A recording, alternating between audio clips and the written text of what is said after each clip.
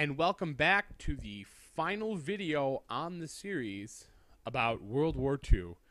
In the last video, we talked about the home front, which was a, a big issue, of course. Um, well, it wasn't necessarily an issue, but it was something that happened that was im- really important to discuss. A- and today, what we're going to do is finish the lesson off with talking about some of the after effects of what happened uh, due to the war.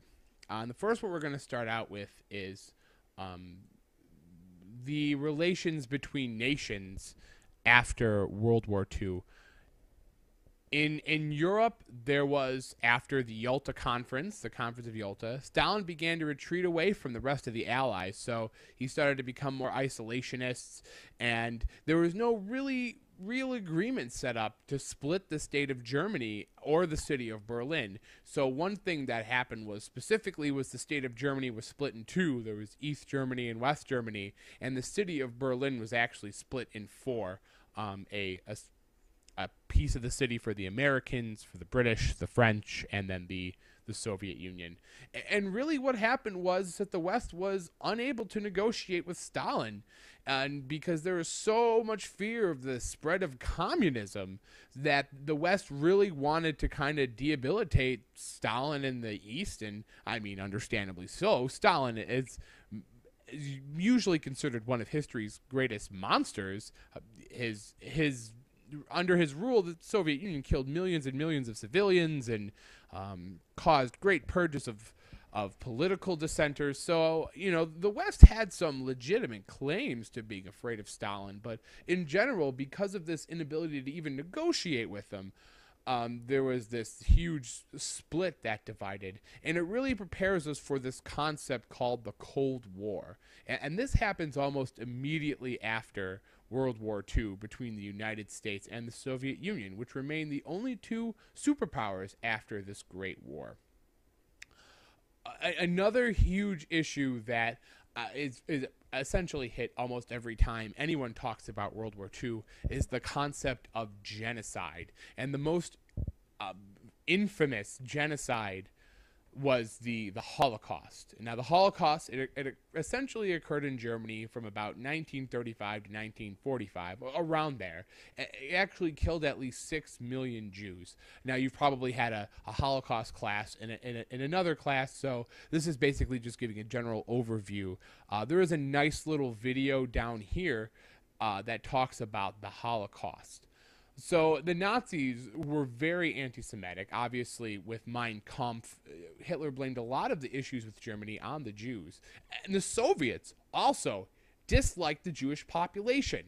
The, the, the Soviets and the, the Russians, for a long time before 1935, would kick Jews out or to wipe Jew Jewish cities or towns off the face of the face of Russia. I mean, this was the, the Jews were a much hated people in in Europe for a very very long time, and only today do you really see the sort of the the iron being cooled on that one, and that has to do with this this awful occurrence of the the Holocaust. So then the Nazis slowly established dominance over the Jewish population, and it all kind of uh, started with it's it's a event. It's called Kristallnacht and I didn't put it on here. It happens in 1936. Uh, Kristallnacht is sort of like the inciting incident that many people think of when they when they think about uh, the Holocaust. It was a destruction of, of Jewish businesses and homes and such, and it was really the, the first part of what what is known as the final solution, which was developed in about 1942 um, which was created a series of concentration camps for Jews, homosexuals, mentally handicapped, political prisoners, and and whoever the Nazis really wanted to get rid of. Uh, I mean, so many individuals uh, were were sentenced to death uh, uh, at these concentration camps. Uh, the most famous being the one in Auschwitz, which was used most famously for the Jews. Now, Auschwitz, of course, being the concentration camp that more Jews died at than any other concentration camp in World War II. And, and here's just kind of like a mass grave of a concentration camp. You can see the the onlookers. These look like generals over here. Um, basically, uh, this video down here also sort of goes into um, American and, and Soviet generals would would liberate these concentration camps as as they would uh, were invading inside Germany. And what would happen is is the soldiers would would take the members of the town in Germany, march them to the concentration camp, and make them look at the destruction, the mass graves, and, and things. So sort of it, it was a really eye opening and, and awful part of the history of Germany was this this period of the Holocaust. It were everyday average people who really really had no want to kill Jews, but that's what the government was doing, and they didn't want to be, um, you know, taken out back and shot themselves, so they kind of went along with it. And there were some, you know, mild supporters or and major supporters, but they all had to watch and see these these these dead folks, which was just an awful, awful occurrence. And here too, you could see that um, in the period of time between 1933 and 1940 that the, the emigration from Germany of Jewish people was, was just massive. Um, you, you, have 90,000 people that actually moved to the United States. Um, 83,000 move all over South America. Uh, is about 18,000 moved to Shanghai, and a few moved to Palestine. Actually, a good portion. It's about 60,000. And you know, you have uh, Jews that moved to other states as well. But of course, um, France and Belgium and the Netherlands, they would all be taken over very, very soon. So they, they didn't necessarily um, didn't necessarily end up well. And not only was the Holocaust a huge issue, but you also had, we talked about this before, Stalin's Great Purge.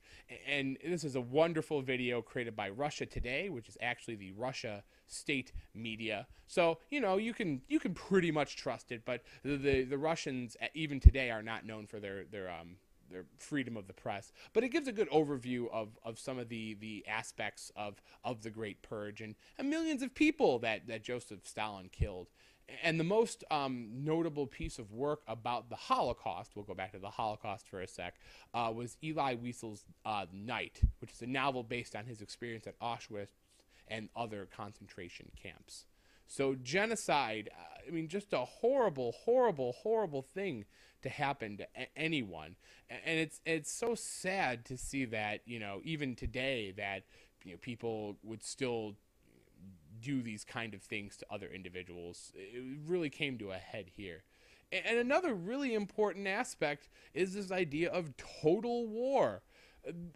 You know, most experts think that the approximate death count for the war was 60 million people. Now, we have 7 billion people today, but and think about how destructive a war, a world war would be today and how many people would die, would die. But 60 million people, that is the most deaths in any war ever.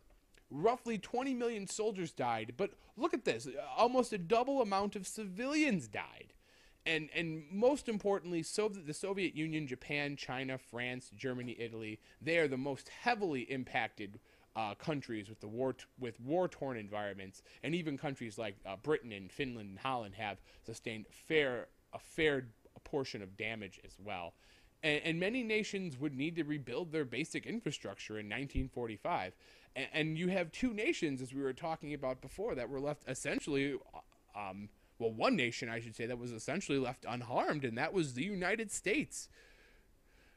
Which it turned out that in, during the Cold War, when, when when we go over more of the United States, the, the there's almost no competition. The United States has pretty much reign to make as many goods as they want. So wartime production would continue at about the same rate because the United States would be the only player providing uh, economic relief and support for European nations and, and, and places like Japan and that were allied to the United States after the war and and more importantly too is that even that even the soldiers that when they came home from the United States they would they would face stress and anxiety just like today's veterans. They would come home with uh, post traumatic st- stress syndrome though they didn't they didn't call it that back then but that's that's what it was and, and other things. And, and, this this is a clip from a movie The Best Years of Our Lives written in uh, 1946 and it was the winner of the Academy Oscar or the Academy Award that year the Oscar.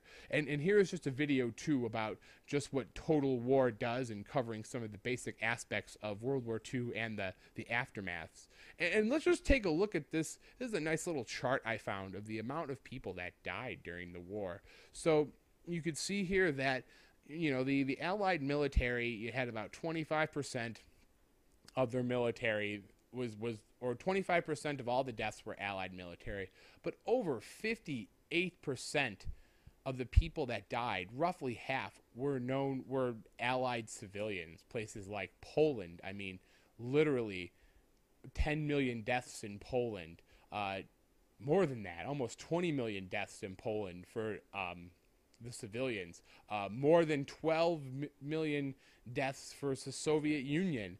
Uh, Lithuania would have look at this 14 million deaths in Lithuania. And, and, look look look at the forces. Look at the look at the military forces. Oh I oh I oh oh no. Oh dear.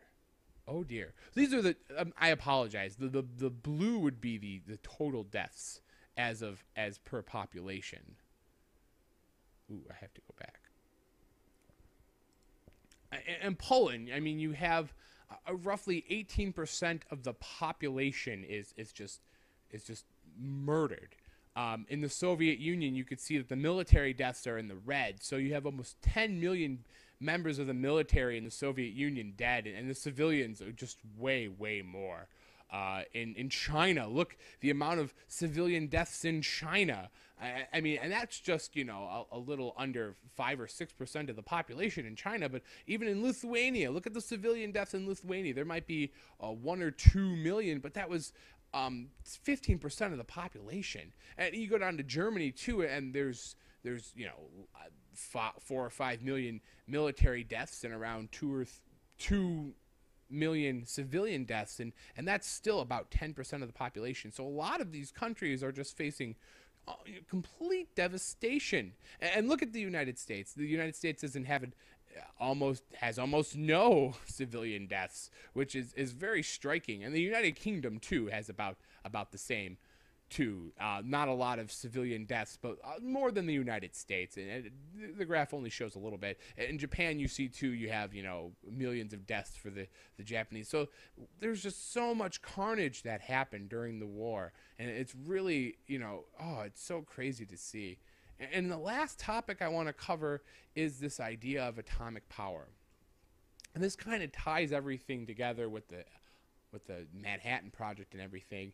The effects of the atomic bomb were felt all over the world.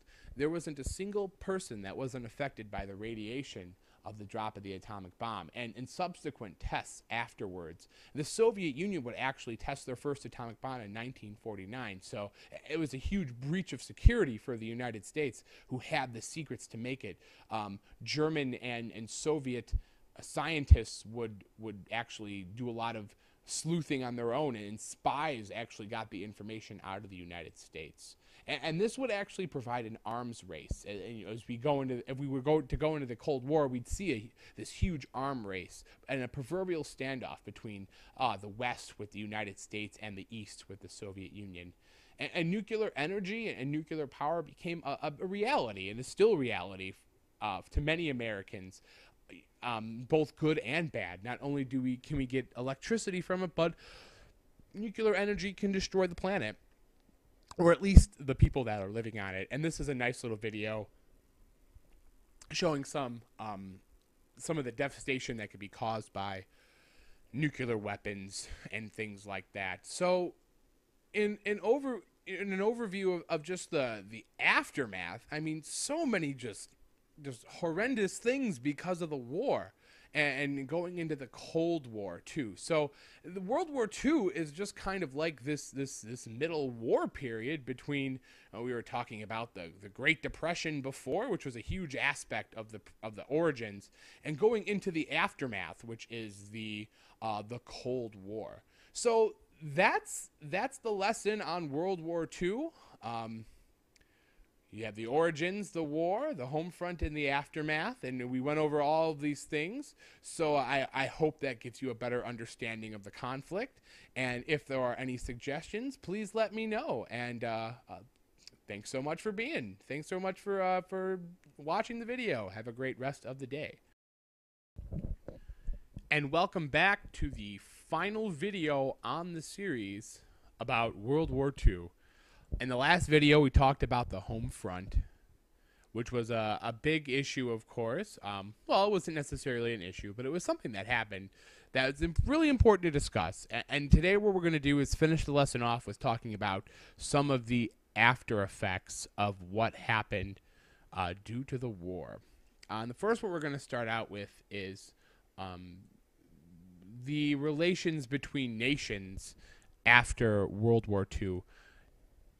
In in Europe, there was after the Yalta Conference, the Conference of Yalta, Stalin began to retreat away from the rest of the Allies. So he started to become more isolationists, and there was no really real agreement set up because there was so much fear of the spread of communism that the West really wanted to kind of debilitate Stalin in the East, and I mean, understandably so. Stalin is usually considered one of history's greatest monsters. His his under his rule, the Soviet Union killed millions and millions of civilians and um, caused great purges of of political dissent to split the state of Germany or the city of Berlin. So one thing that happened was specifically was the state of Germany was split in two. There was East Germany and West Germany, and the city of Berlin was actually split in four. Um, a, a a piece of the city for the Americans, for the British, the French, and then the the Soviet Union. And really, what happened was that the West was unable to negotiate with Stalin. And so, you know, the West had some legitimate claims to being afraid of Stalin, but in general, because of this inability to even negotiate with him, um, there was this huge split that divided. And it really prepares us for this concept called the Cold War. And, and this happens almost immediately after World War II between the United States and the Soviet Union, which remained the only two superpowers after